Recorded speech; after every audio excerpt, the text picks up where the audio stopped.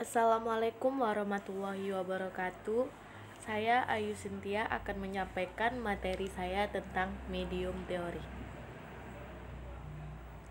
Sejarah munculnya teori.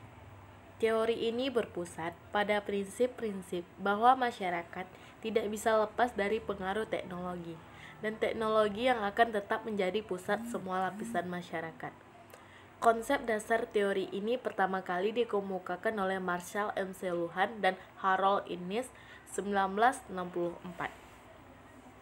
Tokoh teori media Tokoh yang merumuskan teori ini pertama kali dikemukakan oleh Marshall M. Luhan 1964 yang dikenal dengan kalimat medium is the message atau media adalah pesan.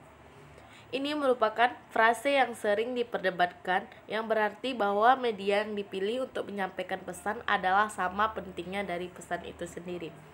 Pemikiran MC Luhan banyak dipengaruhi oleh pengajarnya seorang ekonom Kanada yaitu Harold Adams Innis yang mengajarkan bahwa media komunikasi adalah intisari peradaban dan bahwa sejarah diarahkan oleh media yang menonjol pada masanya.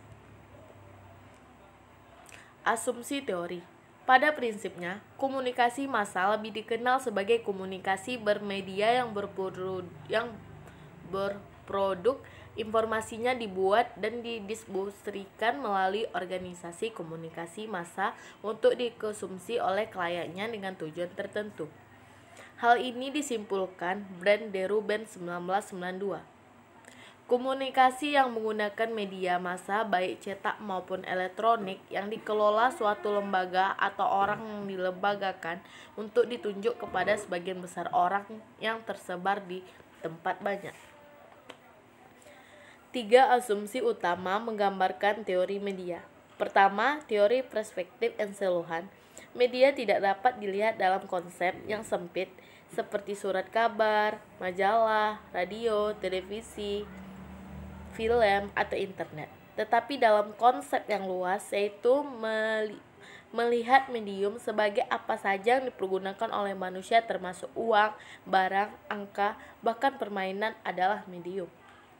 Kedua, media sebagai suatu yang langsung mempengaruhi manusia. Artinya, manusia memberi penilaian, merasa, beraksi, cenderung dipengaruhi oleh media. Dalam asumsi ini, MC Luhan media cukup kuat dalam membentuk pandangan kita atas di atas dunia. Ketiga, setiap peristiwa atau hal yang dilakukan di belahan dunia lain dapat diketahui atau menjalar ke belahan dunia lainnya.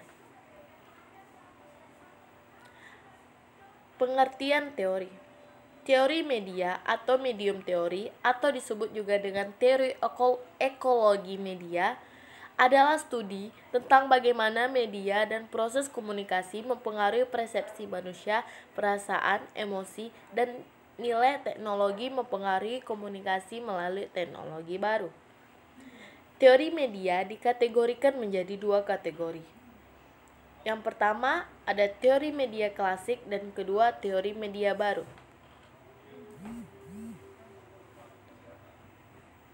Contoh kasus atau bentuk aplikatif teori dalam kehidupan sehari-hari bahwa teori media ada konsep keberadaan media sebagai sebuah lingkungan yang mampu membawa pengaruh dan perubahan kepada kehidupan manusia. Misalnya, aktivitas dalam media sosial semakin mempengaruhi kehidupan di luar media sosial. Misalnya saja orang-orang lebih mudah mendapatkan berita dari media sosial seperti Instagram, Line, Telegram, WhatsApp, Facebook daripada berita televisi karena informasi sudah ada di, di genggaman manusia, sehingga dapat menyebabkan pengaruh yang sangat besar terhadap perubahan manusia saat ini dan dapat mengubah persepsi manusia juga diakibatkan setiap manusia dapat menyampaikan pendapatnya masing-masing. Kesimpulannya, dari hasil pembahasan, ditemukan bahwa medium teori berakar pada konsep keberadaan media sebagai sebuah lingkungan yang mampu membawa pengaruh dan perubahan kepada kehidupan manusia.